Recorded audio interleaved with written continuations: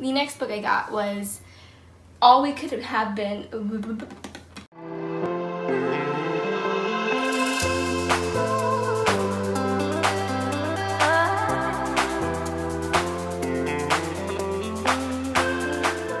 Hey guys, it's me. Welcome back to my channel, The Awkward Book Nerd. For this video, I am going to be doing my BookCon haul for you guys. I know I just released my vlog and I didn't realize how fast I was gonna get it edited and stuff, but I literally just spent the whole, like a whole day just like working on it. And I know I, like in the blog, I briefly talked about all the books I got, but I wanted to like have a structured way to talk about them. I feel like I didn't talk about, I think there was one book I didn't talk about getting, so I decided to film like an official BookCon haul for you guys. That way I can like more decisively show you guys the books I got and maybe like talk about them a little bit more. So yeah, that is my plan. So I'm just gonna get started. The first book I got was The Art of Breaking Things by Laura Sibson. So um, I have been eyeing this book for a couple months. It came out last month. I think it was like either early to mid last month it came out. And I can't remember the full synopsis, but I know it's it's essentially like about a girl who is her dream is to like escape her life and go to art school. And so she's in her last year of high school and she's getting ready to basically like pursue that dream and her mom rekindles a relationship with a past boyfriend. And the thing is, this past boyfriend was not respectful of the main character's boundaries. And so she has to deal with,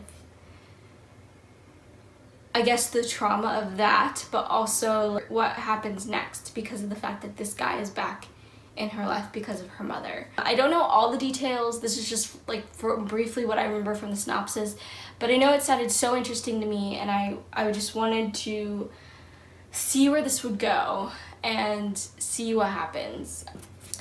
All We Could Have Been by T.E. Carter. I have been, again, eyeing this too as well for a couple of months and it's because the synopsis like really drew me in. So it's essentially about a girl who she moves from like place to place to place because of the fact that she's running away from the judgment of her peers due to a past event that her brother was a part of and because of this event he is in jail and so it's her kind of I guess figuring out what it means not to run away. Her figuring out like I think the difference between her and her brother and like how the things that her brother did doesn't define who she is kind of thing. I was really intrigued by this story and like I am so excited to be able to pick it up. Um, I got this one and The Art of Breaking Things from The Strand.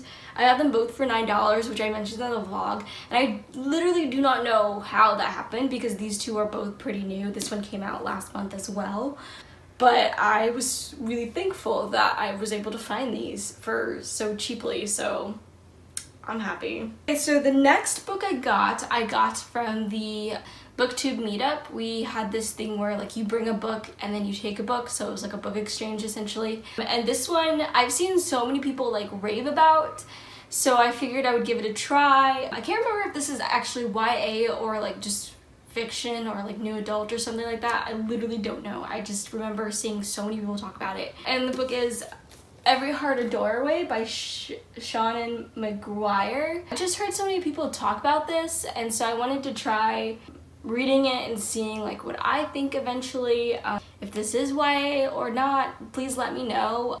Which like it doesn't matter if it is or not, I would just I guess like to know. But yeah, I'm kind of excited. I don't know who left this because uh, I think we were supposed to leave a note, but there's no note in here, which is like totally fine. I don't even know if I left a note in my book, so who knows. But I'm kind of happy I was able to get my hands on this. Alright, and the last two books are the two books that I got from BookCon. There were a couple more books that I technically wanted to get at BookCon, but the lines were kind of crazy and some of the things were really were ticketed and like with one book, I didn't realize it was ticketed until I had to ask at the publisher's table, which is like totally fine. I was like, you know what, this is probably a sign that I don't need it. I'll just get it when it comes out in the stores because I need to support the authors anyways.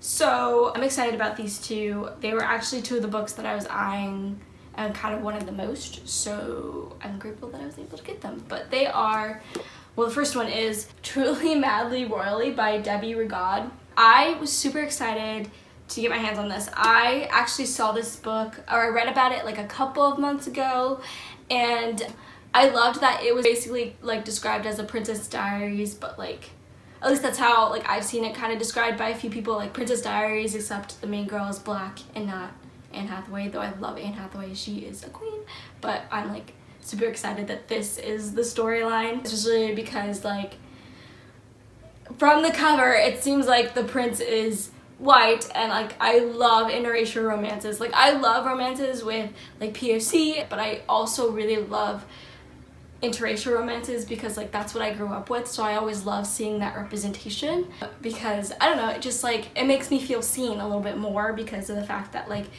yes, it's good to have straight POC romances. It's good to have like the straight white romances, but like you never like see a lot of the time the interracial stuff, and I don't know. I feel like there should be a there should be more of that. I don't know. Maybe I'm not looking in the right places. Who knows? But I'm always excited when I can find one and hopefully enjoy it. And I feel like I'm gonna enjoy this, especially because like I feel like royalty books are like really in right now, hence Her Royal Highness by Rachel Hawkins and um, Prince Charming by Rachel Hawkins.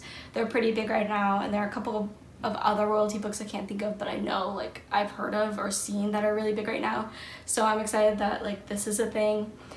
So yeah, I'm just, I'm super excited. And the author was so sweet. Like she was just at the table signing the books and like she was, I felt bad because as we were going through the line, the people were like, don't talk to the people like for super long because like we need to keep the line moving. But she was like so sweet and I could tell she wanted to like talk to everyone and like actually have conversations with them, but it was hard because the people didn't want her to. She actually personalized the book for me, which I really appreciated too. And yeah, I'm just super excited to read this and review it and just talk about all my thoughts. So excited. Alright, the last book I got was Tell Me Everything by Sarah Emmy, Amy, I'm so sorry again about not knowing how to pronounce this last name. I hate myself. But I, again, saw this book a couple months ago. I saw the synopsis and it, like, interested me. It's essentially about a girl who's, like, super shy and I, I believe she doesn't have a lot of friends. There's this app, I guess, that is really popular within her school. And I don't remember like how I don't know how to describe it, but like she like does a lot of good deeds through this app, and then like it goes weird, I guess. I don't know, but it sounded really interesting, and I know this came out also last month. And the author was actually signing at the same booth as Debbie Rigaud, so I got to pick up like Truly Madly Royally in this book, which I was kind of hoping I would get to do. I wasn't sure if they would make us choose one or if like the, her signing was completely different but just at the same booth but we managed to get both of these. And I got this signed and personalized as well. And this author was also really sweet and it seems like she also really wanted to talk to people and I just feel so bad that they weren't able to but I also get it but I also still feel bad. I'm just that type of person. But yeah so this one I was excited to get as well. And I'm just yeah I'm excited that I got these contemporary. All the, most of these are contemporary. I think the I think I think the Every Heart a Doorway one is a fantasy, but I'm excited that I got all of these contemporary books, which I'm like, I probably don't need any more contemporary, like I should probably get more fantasy in my life, but I don't care, and I'm happy, so. That was my BookCon, book haul thing. Hopefully you liked it. If you guys liked the video, go ahead and like it down below. I don't know why I made that noise. If you guys have any comments on any of these books, if you've read them already, if you want to read them, if they're on your TBR, if, I don't know, if you didn't like them, just like tell me why down below or something like that. I just like love hearing your thoughts on books and interaction with you guys and all that kind of stuff. If you're not good at commenting, I'm just gonna say go ahead and leave me an emoji down below. I'm stealing the idea from my very good friend Sylvia from Wish Fulfillment. And if you guys want to keep seeing more videos from me, please subscribe down below. You guys are awesome. Flowers in a world full of weeds.